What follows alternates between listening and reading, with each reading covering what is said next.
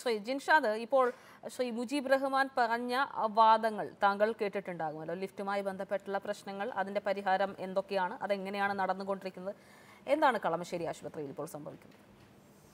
ശ്രീ അപർണ കഴിഞ്ഞ ചൊവ്വാഴ്ചയാണ്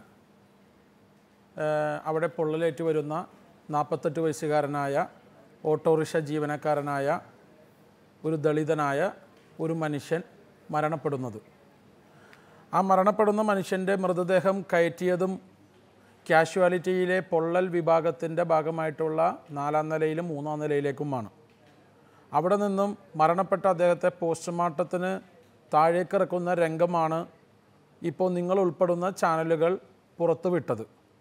നമ്മളിതിനു മുന്നേ ഇത്തരത്തിലൊരു രംഗം കണ്ടിട്ടുള്ളത് ഒഡീഷയിലും ഉത്തർപ്രദേശിലും ഗുജറാത്തിലുമെല്ലാമാണ് എല്ലാമാണ്. മൃതദേഹം തോളിലേറ്റ് കിലോമീറ്ററുകൾ നടക്കുന്ന സാഹചര്യവും അല്ലെങ്കിൽ വലിച്ചഴച്ച് കൊണ്ടുപോകുന്ന സാഹചര്യമല്ല.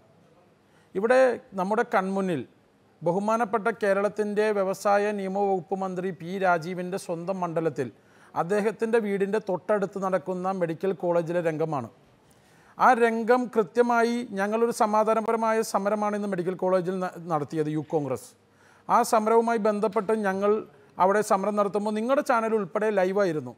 ഞങ്ങൾ പ്രിൻസിപ്പളുമായി സംസാരിച്ചപ്പോൾ അവരുടെ ധിക്കാര മനോപമായ മനോപരമായ ഒരു സംസാരമാണ് അവരിൽ നിന്ന് ഞങ്ങൾക്ക് കേൾക്കാൻ സാധിച്ചത്.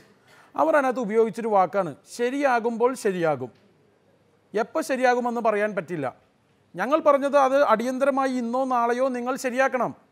കാരണം മാസങ്ങളായി അത് കംപ്ലൈന്റ് ആയിട്ട്. ഞങ്ങളോട് പ്രിൻസിപ്പൽ ഉൾപ്പെടെയുള്ള പ്രിൻസിപ്പൽ ഡോക്ടർ രശ്മി രാജൻ ഇന്ന് ഞങ്ങൾ ചർച്ച ചെയ്തപ്പോൾ ഞങ്ങളോട് പറഞ്ഞതാണ്.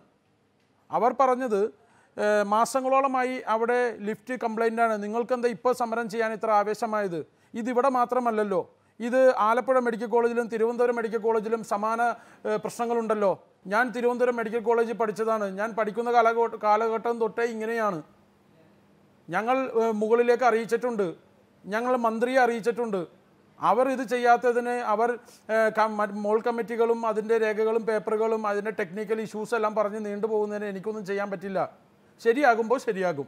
ഇതാണ് അവർ പറയുന്ന മറുപടി. ഇവിടെ ഇടതുപക്ഷത്തിന്റെ പ്രതിനിധി എന്ത് പച്ചക്കള്ളമാണ് അദ്ദേഹം പറയുന്നത്?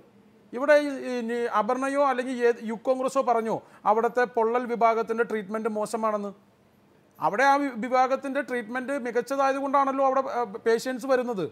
സൂപ്പർ സ്പെഷ്യാലിറ്റി ആശുപത്രികളിൽ പോയാൽ മിനിമം ഒന്നും രണ്ട് ലക്ഷം രൂപ ചെലവ് വരുന്ന ട്രീറ്റ്മെന്റ് സർക്കാർ മെഡിക്കൽ കോളേജിൽ സൗജന്യമാകുമ്പോൾ അല്ലെങ്കിൽ ചെറിയ പൈസക്ക് ചെയ്യാൻ പറ്റുന്നതുകൊണ്ടാണല്ലോ അവിടെ ആളുകൾ വരുന്നത്. ഇത് കേവലം ഒരു ഇന്നലത്തെ ഒരു വിഷയം മാത്രമല്ല. ഞങ്ങൾ ഇന്ന് സമരം ചെയ്യാൻ അവിടെ ചെല്ലുമ്പോൾ സമരം കഴിഞ്ഞ് ഇറങ്ങുമ്പോൾ എത്രയോ പേഷ്യൻസാണ് ഞങ്ങളോട് വന്ന് പറയുന്നത്. അവിടെ കിടത്തി ചികിത്സയുടെ ഭാഗമായിട്ട് വാർഡുകളിൽ ബെഡ് ലഭ്യമാകുന്നില്ല. ഞങ്ങൾ താഴെയാണ് കിടക്കുന്നത്. പകർച്ചവ്യാധികൾ വലിയ വലിയ രീതിയിലുണ്ട്. റൂമുകൾ ഉണ്ടായിട്ടും അനുവദിച്ചു തരുന്നില്ല.